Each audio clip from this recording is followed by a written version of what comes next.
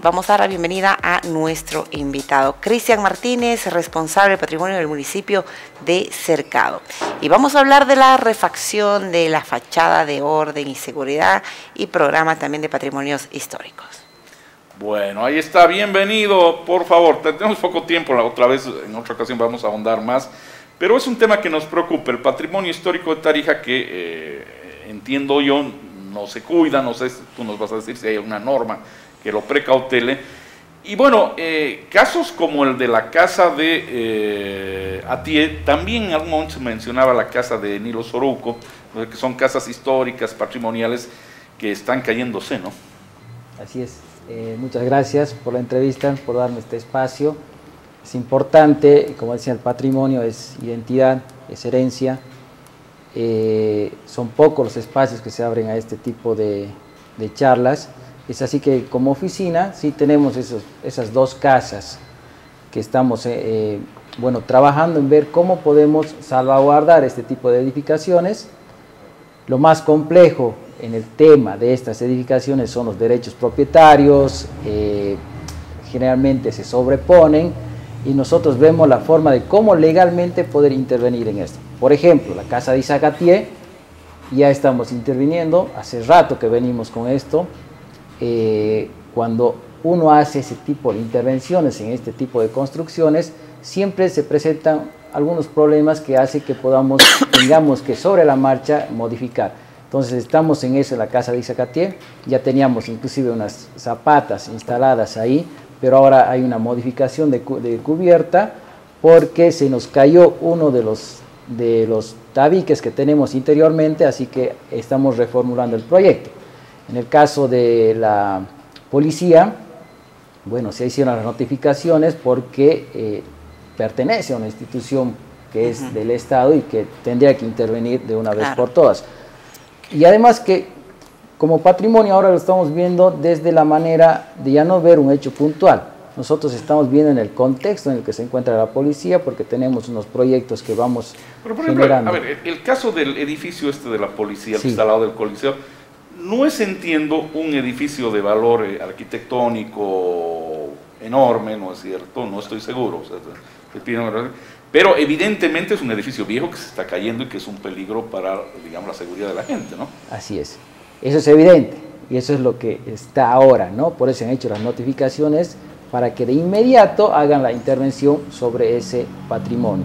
Es patrimonio porque tenemos nosotros una normativa que está en el plan de ordenamiento territorial, donde nos define las áreas del centro histórico y también nos define categorías A, B, C de edificaciones que tienen un valor patrimonial. En este caso, el edificio de la policía es una categoría C. C. C. por, el tipo de...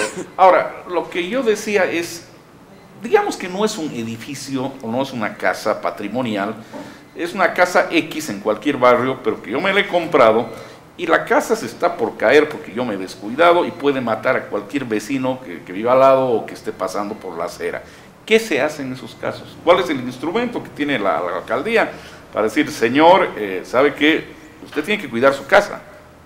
Bueno, nosotros cuando sucede eso llamamos a la unidad de riesgos, ellos van y ya son varios los casos que tenemos, hacen una evaluación técnica y también nosotros tenemos un equipo técnico donde también se hace la evaluación y se dice, bueno, eh, hay que hacer este tipo de intervención en este tipo de edificación. ¿no? De esa forma le colaboramos al propietario.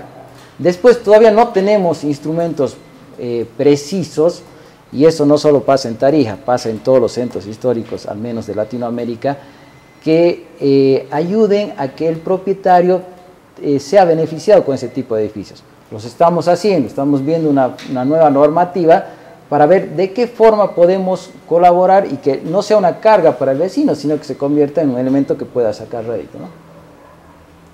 Liliana.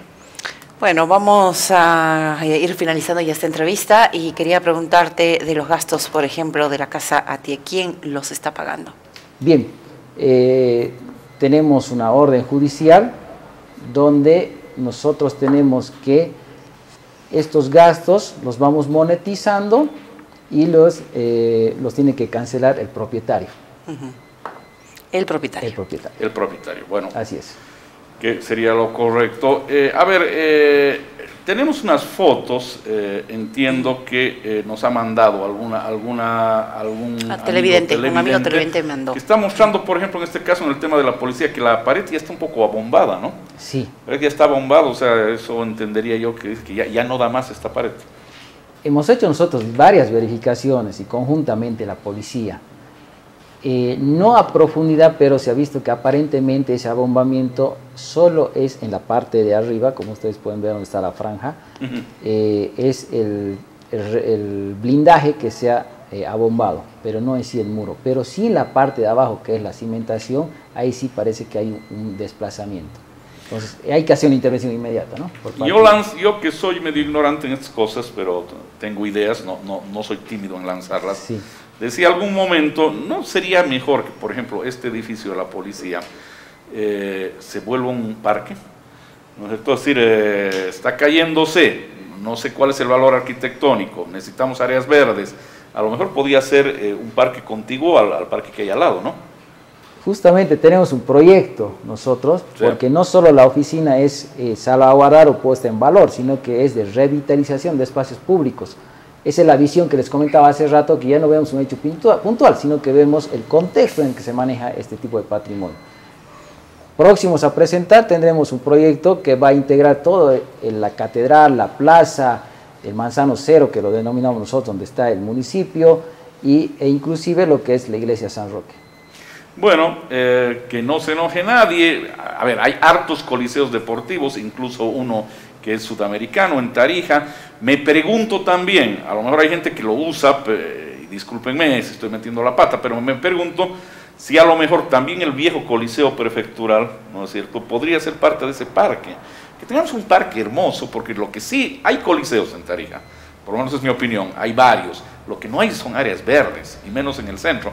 Entonces, un hermoso parque que eh, cubra ese edificio de la policía, el ex coliseo municipal, creo que podría darse, ¿no? Sí, el proyecto se lo está viendo de forma integral. Ahí está el tema de derechos propietarios, eh, lo que piensa la gente, hay que pensar en la memoria colectiva también de la gente. Entonces, eh, el, patrimonio es subjetivo y es complicado, ¿no? esa es la tarea que tiene esta oficina de poder equilibrar eso entre uso y, uso y conservación para poder dar un espacios a la población. Bueno, ojalá, pero que se haga algo, tocas, que no se quede así. ¿no? no se quede así, vayamos mejorando. Gracias por tu presencia, Liliana Arce, 2 y 10, mira cómo nos hemos atrasado.